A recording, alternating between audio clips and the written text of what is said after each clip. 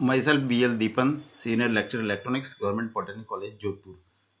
Secondary electronics के subject EDC ELF 204 की unit transistor biasing and stabilisation के अंतर्गत topic collector to base bias circuit and voltage divider biasing circuit को आज study करेंगे now first take the collector to base bias circuit in this circuit it employs negative feedback. There is a negative feedback from collector to the base by a resistance RF. Uh, it is an example of voltage shunt feedback. Uh, this uh, negative feedback prevent uh, thermal runaway and stabilizes the operating point. This negative negative feedback will help in uh, stabilizing of the operating point. In this form of biasing, the base resistor RF is connected to the collector instead of connecting it to the DC source. Fix base और collector to base base circuit में यही फ़र्क है कि यहाँ पर collector और base के बीच में एक resistance so any thermal runaway will induce a voltage drop across the resistor RC that will throttle the transistor's base current. Transistor base current को ये कंट्रोल में रखेगा अगर टेम्परेचर के कारण कोई इंक्रीज हुआ है तो उसको वापस स्टेबलाइज रखेगा, जिससे कि कलेक्टर करंट इंक्रीज नहीं होगी और जिससे कि क्यू पॉइंट जो है अनस्टेबलाइज नहीं होगा।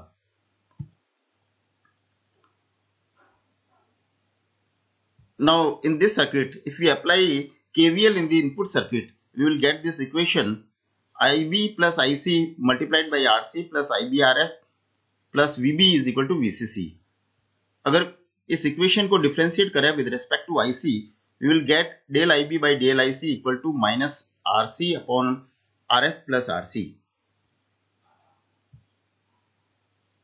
putting this equation, putting this uh, value in the formula for uh, stability factor SICO, SICO is equal to 1 plus beta, 1 plus beta upon 1 minus del IB by del IC. Therefore, SICO is equal to 1 plus beta upon 1 plus beta RC upon RC plus RF, which is less than 1 plus beta uh, it signifies that the better thermal stability in comparison to fixed bias circuit. तो यहाँ पर ये stability factor का formula है इसके अंदर one plus beta upon one minus del I B upon del I C की जगह लिखा है अपन ने minus R C upon R F plus R C so we get this formula and with this formula we get the value of stability factor which is uh, less than quite less than 1 plus beta So stability of this circuit is better than stability of the fixed bias circuit. Now merits of the circuit.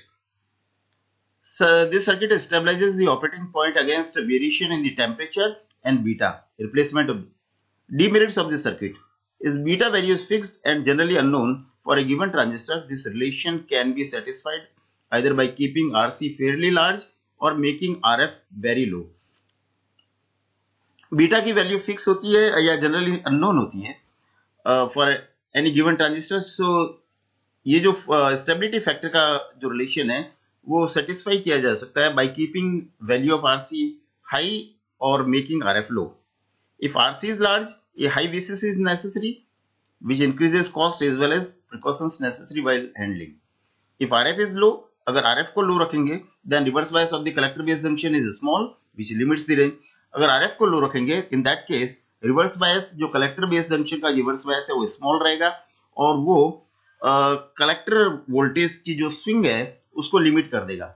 विच यानी कि उसका active region जो है, वो region in which we can use it as an amplifier will become small the resistor R F causes an AC feedback resistor R F के कारण एक AC feedback हो रहा है वोल्टेज फीडबैक हो रहा है reduces the voltage gain of the और इसके कारण सर्किट का वोल्टेज गेन जो है, वो रिड्यूस होगा। This undesirable effect is trade off for a greater Q point stability now, next circuit. The potential divider divider bias circuit. This is the most commonly arrangement for biasing is it provides good bias stability. ये जो circuit है potential divider bias circuit ये most commonly used है। ये, इसकी stability ज़्यादा होती है in comparison to fix bias circuit and collector base bias circuit the resistance Re causes a voltage drop in a direction so as to reverse bias the emitter junction. Re के across जो voltage drop uh, produce होता है the, that is in uh, that is in uh, negative with the input signal which opposes the uh, forward bias at the input junction. Since the emitter base junction is to be forward bias, the base voltage is obtained from the base पर जो voltage है वो R1 R2 के combination से प्राप्त होता है। The net forward bias across the emitter base junction is equal to the VB minus DC voltage drop across RE the base voltage is set up by VCC and R one and R two this DC bias circuit is independent of circuit current gain in case of amplifier to avoid the loss of AC signal अगर इसके अंदर आप AC signal के loss को compensate करना चाहते हैं तो we can use a capacitor across this resistance RE so that uh, AC signal can be bypassed uh, through this capacitor. AC signal, in that case, AC signal, signal will not pass through this resistance RE.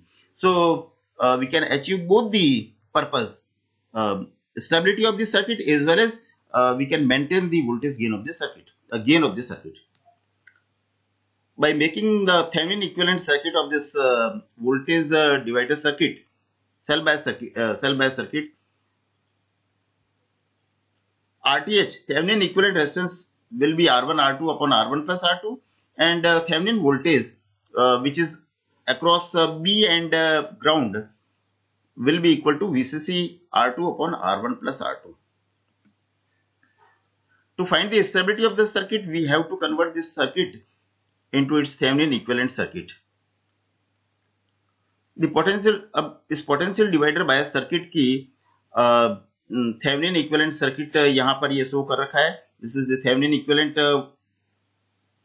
voltage this is Thevenin equivalent resistance and this is R C and this is I now this is simplified circuit by applying KVL into the base circuit i will uh, we will get this uh, equation ibrth plus iere plus vb equal to vth therefore ibrth plus IC plus IB times RE plus VB is equal to VTH. अगर इसको differentiate करेंगे del I B by del I C differentiate this equation with respect to I C we will get minus R E upon R T H plus R E therefore stability factor का जो formula आएगा, वो होगा one plus beta upon one plus beta R E upon R E plus R T H अगर इस equation को further simplify करें तो देखेंगे कि जो स्टेबिलिटी फैक्टर का जो फॉर्मूला आएगा वो R E upon R T H upon R E लगभग के बराबर आएगा। यानी कि stability factor of this circuit will become independent of the beta beta and ICO और uh, इस स्टेबिलिटी को इंप्रूव कर सकते हैं by this shows that ICO is inversely proportional to RE and it is less than 1 plus beta, signifying better it signifies better thermal stability. These are the merits and demerits of the circuit. Operating point is almost independent of beta. Operating point stabilizes against shift in temperature. तो temperature के कारण variation को भी ये control कर रहा है and इसके अलावा operating point becomes independent of the beta variation These are the demerits of the circuit. Is beta value is fixed for a given transistor? This relation can be satisfied either by keeping RE fairly large or making R1 R2 parallel combination very low. If RE of large value, high VCC is necessary, this increases cost as well. Is precautions necessary while handling? If R1 R2 parallel combination is low, either R1 is low or R2 is low, both are low. Both are low. A low R1 raises VB close to VCC, VC, reducing the available swing in collector voltage and limiting how large RC can be made without driving the transistor out of the active mode. A low R2 lowers VB, reducing the allowed collector current, lowering both resistor values, draws more current from the power supply and lower the input resistance of the amplifier. So we can say that the circuit's uh, stability and merits is what make it widely useful for linear applications.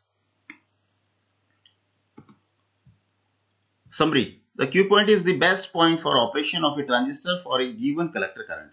The purpose of biasing is to establish a stable operating point. The linear region of a transistor is the region of operation within saturation and uh, cutoff. Out of all the biasing circuits, potential divider bias circuit provides